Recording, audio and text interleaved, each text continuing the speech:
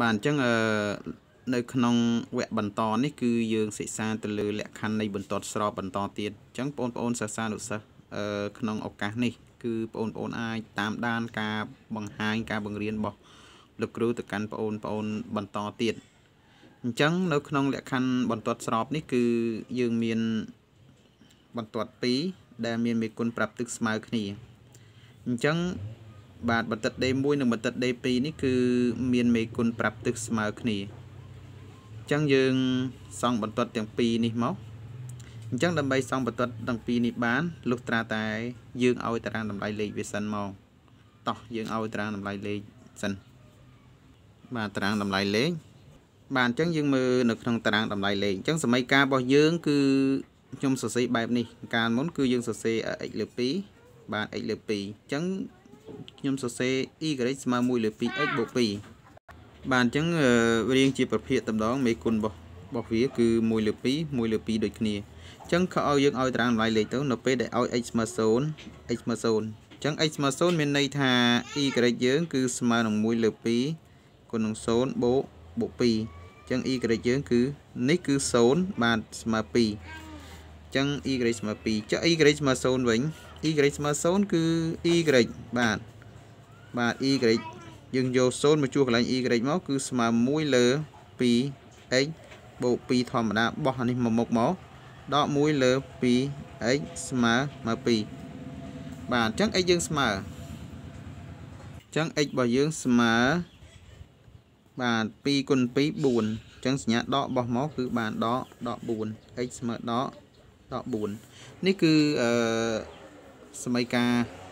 បន្ទាត់ D1 អញ្ចឹងយើងមើលសម័យការបន្ទាត់ D2 សម័យការបន្ទាត់ D2 ដូចគ្នា បាទនៅពេលដែលយើងឲ្យ x ស្មើ0 x ស្មើ0អញ្ចឹងបានន័យថា y ស្មើ1លើ2គុណនឹង0ដូចគ្នាដក1អញ្ចឹង y យើងគឺនៅសល់ដកដក1អញ្ចឹងកន្លែងនេះគឺ y ដកដក1អញ្ចឹងនៅពេលយើងឲ្យ y ស្មើ0អញ្ចឹង y ស្មើ0យក0មកជួសកន្លែងនេះមក បាន0ស្មើ1លើ 2x ដក1បោះមកគឺបានដក1លើ 2x ដកស្មើដកបាទស្មើដក1បាទអញ្ចឹងដកស្រួលដកអស់ហើយសល់បូកអញ្ចឹង x យើងគឺស្មើនឹង2គុណ1បានបាន2អញ្ចឹង x ស្មើស្មើ2បាទអញ្ចឹងត្រាំងតម្លៃលេខរបស់យើងគឺអស់ហើយអញ្ចឹងយើងសង់បន្ទាត់ D1 និងបន្ទាត់ D2 ទៅព្រោះត្រាំងតម្លៃលេខគឺយើងបាន ឲ្យរួចហើយអញ្ចឹងយើងមើលពីប្រឡោះគឺយើងគិតមួយ បាទពីប្រឡោះគឺខ្ញុំគិតមួយឥឡូវយើងសង់បន្ទាត់ទី1បន្ទាត់ទី1គឺយើងមើលបន្ទាត់ទី1នេះតម្លៃ y យើងនៅពេល x0 y 2 x0 នេះចំកន្លែងនេះ y 2គឺនៅលើ1 2បាទចំចំណុចនេះគឺ2អញ្ចឹងបន្តិតកាត់ត្រង់ចំណុចនេះ1បន្ទាប់មកទៀតនៅពេលដែលយើងឲ្យ y0 x យើងគឺស្មើដល់4អញ្ចឹងជួ x នេះគឺស្មើដល់4គឺនៅខាងនេះ ដក4អញ្ចឹងបន្ទាត់កាត់ត្រង់ចំណុចនេះអញ្ចឹងយើងសង់បន្ទាត់នេះមួយសិនបាទអញ្ចឹងយើងបានបន្ទាត់ហើយនេះគឺបន្ទាត់ e ការ៉េស្មើ1លើ 2x បូក2បាទអញ្ចឹងបន្ទាប់មកទៀតយើងសង់បន្ទាត់មួយទៀតគឺបន្ទាត់ដែលមាន x ស្មើ0 y ស្មើដក1អញ្ចឹងយើងមើល x ស្មើ0 y ដក1នេះគឺចំណុចនេះបាទ y ដក1អញ្ចឹងយើងដាក់ដក1បាទ ចឹងបន្ទាប់មកទៀតចឹងចំណុចកាត់នៅកន្លែងដក1បន្ទាប់មកទៀតនៅពេលដែល e ការ៉េយើង0 x យើងស្មើ2នេះកន្លែងនេះចឹងបានកាត់ត្រង់ចំណុចនេះមួយទៀតបាទត្រង់ចំណុចនេះចឹងយើងសង់បន្ទាត់នេះមួយទៀតបាទសង់បន្ទាត់នេះមួយទៀតបាទអញ្ចឹងបន្ទាត់នេះគូខុសបាទនេះបន្ទាត់នេះគូខុសចំពីវាកាត់ត្រង់2នេះទេបាទសូមកែបន្តិចបាទអញ្ចឹងអស់ហើយយើងកែរួចហើយបានតាមពិតគឺកាត់ត្រង់2តែយើងគូគូកាត់ទៅលើអញ្ចឹងបានន័យថាច្រឡំអញ្ចឹងសូមអធិស្ឋានពីបងប្អូនសាសានុសិស្សបាទ យើងបន្តទៅវគ្គទី2ទៀតបាទ D2 បាទអញ្ចឹងនេះគឺជាបន្ទាត់ D2 បាទបន្ទាត់ D2 គឺបាទអញ្ចឹងយើងបានបន្ទាត់ D2 មួយទៀតហើយនេះគឺជាបន្ទាត់ D2 បាទបន្ទាត់ D2 នេះគឺ y ស្មើ1លើ 2x ដក1ដូចគ្នា បាទអញ្ចឹងបងប្អូនសង្កេតមើលបន្ទាត់ D1 និងបន្ទាត់ D2 អ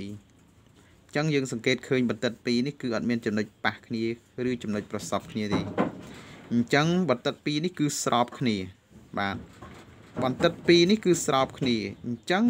បងប្អូនត្រូវយល់ថាបន្តិត2នេះស្របគ្នាមិនមែនវាអត់មាន head ផលទេគឺវាមាន head ផលរបស់វា បាទអញ្ចឹង head ផលរបស់វានេះគឺត្រង់មួយគុណប្រាប់ទិសរបស់វានេះស្មើគ្នាហ្នឹងហើយបាទហេតុផលរបស់វាគឺត្រង់មេគុណប្រាប់ទឹកនឹងស្មើគ្នាបន្ទាត់ D1 មេនមេគុណបាទរបស់វាគឺបាទ1លើ2 1លើ2 x បាទដល់ពេលបន្ទាត់ D2 គឺ1លើ 2e 1លើ 2x ដូចគ្នាបាទចំណាំកន្លែងនេះបន្តិចបាទចំណាំអញ្ចឹងបន្ទាត់ D1 និងបន្ទាត់ D2 ស្របគ្នា បន្ទាត់ D1 យើងយើងដាក់មកបន្ទាត់ D1 និងបន្ទាត់ D2 ស្របគ្នា បាទបន្ទាត់ D1 និងបន្ទាត់ D2 ស្របគ្នាកាលណា បាទមើលកន្លែងនេះបន្តិចមកកាលណាបាទ a ស្មើ a' បាទអញ្ចឹងកាលណា a ស្មើ a' ឬមេគុណប្រាប់ទិសរបស់វាគឺ1លើ2នៃបន្ទាត់ D1 ស្មើនឹង1លើ2នៃបន្ទាត់ D2 អញ្ចឹងដោយសារតាហេតុផលនៃមេគុណប្រាប់ទិសរបស់វា1លើ2ស្មើ1លើ2នឹងហើយបានធ្វើឲ្យបន្ទាត់ D1 និងបន្ទាត់ D2 នេះស្របគ្នាបែបនេះបាន បាទអញ្ចឹងយើងគូហុំវាបន្តិចប៉ុណ្ណឹងបានអញ្ចឹងមេរៀននេះគឺការបកស្រាយនេះគឺតែប៉ុណ្្នឹងទេអញ្ចឹងបងប្អូនត្រូវស្វែងយល់បន្តទៀតបាទប៉ុន្តែថាលក្ខខណ្ឌនៃបន្ទាត់ស្របគឺមានលក្ខខណ្ឌរបស់វាតែប៉ុណ្្នឹងទេគឺ a ស្មើ a' អញ្ចឹងមានន័យថាកាលណាមេគុណប្រាប់ទិសរបស់វា គឺស្មើគ្នាបន្តិចហ្នឹងគឺស្របគ្នា បាទអញ្ចឹងអរគុណច្រើនដល់ការតាមដាន នៅវីដេអូមួយនេះបាទ មេរៀននៅថ្នាក់ទី9ទំព័រទី111ហ្នឹងបាទជាចុងក្រោយសូមបងប្អូនជួយ like និងជួយ Subscribe បាទសូមជួយ Like និងជួយ Subscribe ហើយនឹងចុចសញ្ញារូបកណ្ដឹង ដើម្បីនឹងងាយទទួលបាន នៅមេរៀនថ្មីថ្មីដែលលោកគ្រូនឹងបង្រៀនបន្តបន្តទៀតអញ្ចឹងអរគុណច្រើនដល់ការតាមដានរបស់បងប្អូន